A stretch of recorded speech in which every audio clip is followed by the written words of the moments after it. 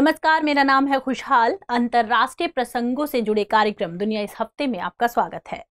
साथियों, आज के एपिसोड में हम केवल किसी अंतर्राष्ट्रीय सम्मेलन, विवाद या घटनाक्रम भर की चर्चा नहीं करेंगे, बल्कि उससे जुड़ी सिद्धांतिकी पर भी चर्चा करेंगे।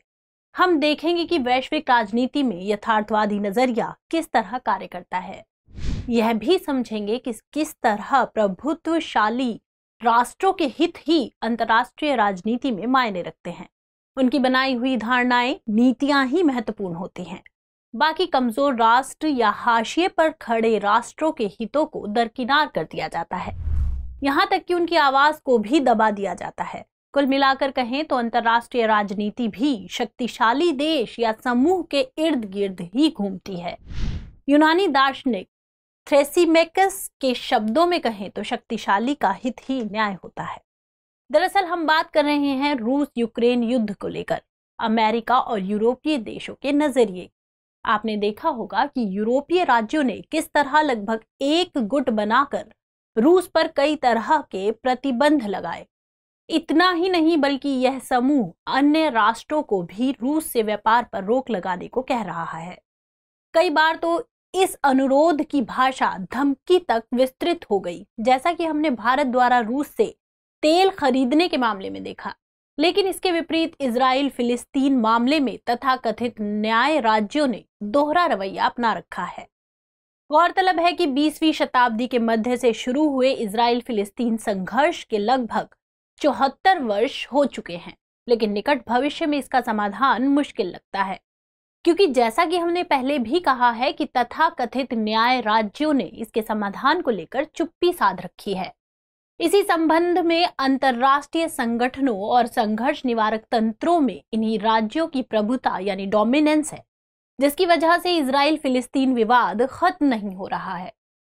उम्मा विश्वविद्यालय, गाजा के professor Adnan Abu Amir, Ukraine और फिलिस्तीन के संबंध में पश्चिमी राज्यों के अलग अलग नजरियों को पाखंड कहते हैं। प्रोफेसर आमेर कहते हैं कि यूरोपीय राज्यों ने पूरे दिल से यूक्रेन का समर्थन किया है और दिखावा किया है कि यूक्रेन और फिलिस्तीन की स्थिति में कोई समानता नहीं है। जबकि यूक्रेन पर रूस द्वारा आक्रमण को फिलिस्तीनियों ने खुद पर आक्रमण के रूप में महसूस किया है। पिछले कई महीनों से चल रहे भूमि कब्जा, सैन्य हिंसा और यूक्रेन के लोगों के युद्ध अनुभव में फिलिस्तीनियों ने प्रत्यक्ष समानताएँ महसूस की।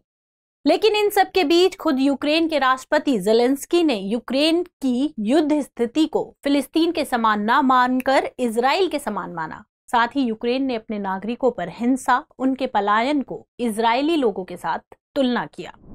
असल में देखा जाए तो वाकई में यूक्रेन और फिलिस्तीन से संबंधित विवादों में कोई समानता नहीं है और ना ही समानता की जानी चाहिए। लेकिन इसमें कोई शक नहीं है कि यूरोपीय देशों की समानता, स्वतंत्रता और लोकतंत्र की आवाज़ वही बुलंद होती है जहाँ उनके हित छिपे होते हैं। फिलिस्तीन तो एक उदाहरण है जिसको केंद्र में रखकर हम यूरोपीय राज्यों के दोहरे चरित्र को समझने की कोशिश कर रहे हैं। अगर हम बात करें रूस के आक्रमण की तो यूक्रेनियों ने पूरी बहादुरी से लड़ा है। इस मामले में यूरोप ने खुलकर न केवल समर्थन किया है, बल्कि हथियारों की सीधे तौर पर आपूर्ति भी की। जब रूस ने यूक्रेन पर आक्रमण किया तो यूरोप ने बिना विलंब किए मास्को को आक्रमणकारी घोषित किया।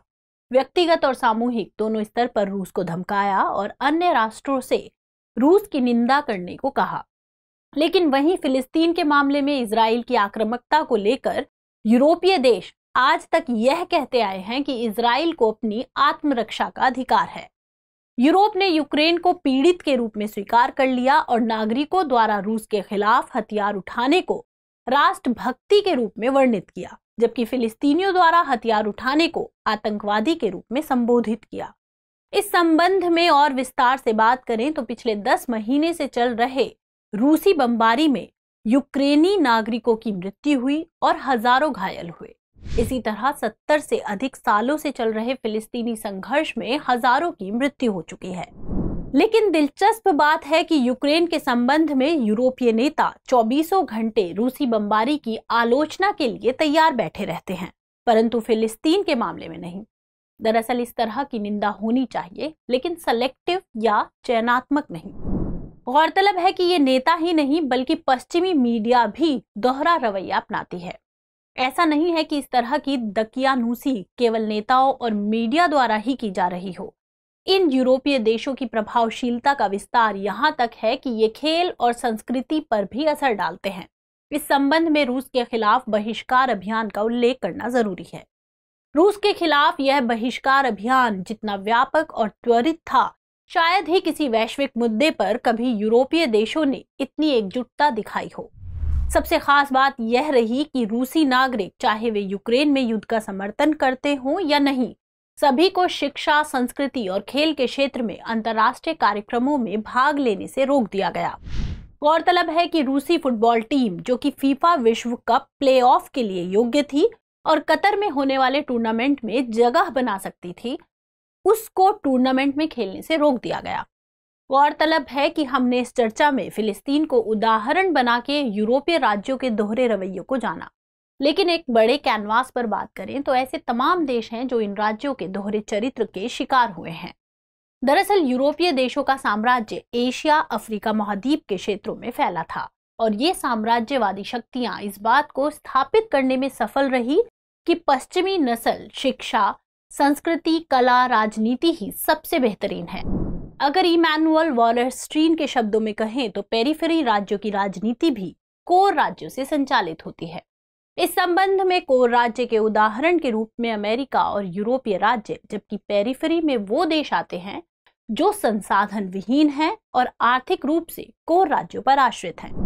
ज़रूरत है कि चाहे यूक्रेन हो या फिलिस्तीन या अन्य कोई देश, सबके साथ समान व्यवहार हो। आक्रांता और पीड़ित के बीच के अंतर को पहचाना जाए, फिर वो चाहे यूरोपीय देश हो, एशियाई देश हो, या फिर अफ्रीकी ही देश क्यों ना हो। इस एपिसोड में इतना ही उम्मीद है कि आपको आज की चर्चा पसंद आई होगी। कमेंट बॉक्स में हमें बताइएगा। आइए अब नोट करते हैं आज का सवाल।